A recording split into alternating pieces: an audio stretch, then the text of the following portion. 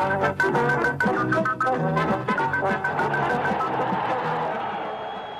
Allo stadio Tombolato il Cittadella riceve il Verona per chiudere la serie dei tre derby consecutivi. Giallo-blu per tenere il passo del Livorno nella rincorsa al Sassuolo. 4-3-3 per entrambi gli schieramenti. Tra Granata di Carmine non recupera. Foscarini conferma l'11 di Padova. Comma A accanto a Giannetti e Di Roberto. Nel Verona ha squalificato Alfredson, indisponibile Martigno ma rientra Cacia in regia Bacinovic, Gomez e Grosso a completare il tridente offensivo. Arbitra Palazzino della sezione di Ciampino.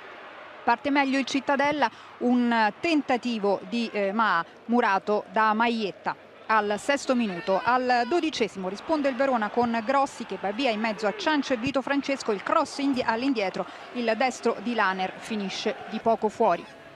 Al ventunesimo le proteste del Verona, c'è questo tiro di Giorginio, un tocco di mano di Martinelli, fa finire il pallone a Cacia che mette in rete ma l'arbitro fischia il fuorigioco. In realtà qui vediamo che c'è il tocco di mano di Martinelli e probabilmente Cacia al momento del tiro di Giorginio era in linea con Ciancio. Al ventinovesimo il gol del vantaggio del Verona, Gomez, il cross da destra, in tuffo di testa Laner, segna il suo secondo gol in campionato e porta in vantaggio il Verona. Lo rivediamo, Laner però lasciato completamente solo al centro dell'area. Al 35 la risposta del Cittadella con questo sinistro di Di Roberto che finisce alto. Al 36esimo una buona opportunità per Cacia servito da Giorginio ma il capocannoniere del campionato colpisce malissimo. Al 42esimo ma indietro per Di Roberto, questa volta il suo sinistro impegna Raffaeo alla prima vera parata della partita.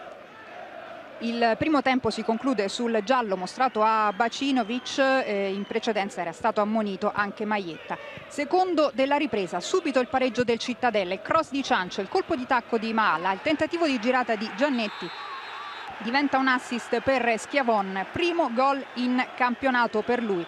Schiavon lasciato però completamente solo, anche lui, i due centrali erano andati a chiudere su Giannetti. All'undicesimo ancora Schiavon che parte decentrato, poi carica il destro, pericolosissimo il suo destro al giro, si spegne eh, poco oltre il palo alla sinistra del portiere. Qui eh, c'è Martinelli che è costretto a uscire dal campo per farsi medicare il Cittadella in 10, il colpo di testa di Bacinovic e Cacia non riesce a eh, deviare in rete da due passi.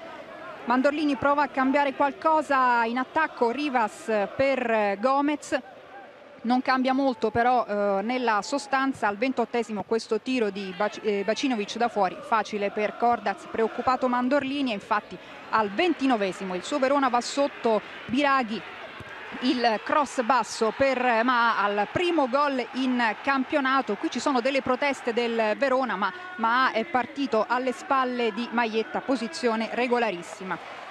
C'è un altro cambio, Foscarini manda in campo Bellazzini al posto di Giannetti, non eh, si copre, continua con il suo atteggiamento, eh, però arriva qui la nebbia che cala e vedete questa è la situazione, un tiro ancora di Schiavon, siamo al 37esimo e allora al 38esimo l'arbitro decide di sospendere la partita. Cominciano i, i conciliaboli tra le, i rappresentanti delle squadre, arriva anche un pallone arancione, sembra che si possa riprendere a giocare con questo pallone un po' più visibile, ma così non è perché al 38esimo l'arbitro decide che per il momento può bastare così, non si può più giocare in queste condizioni.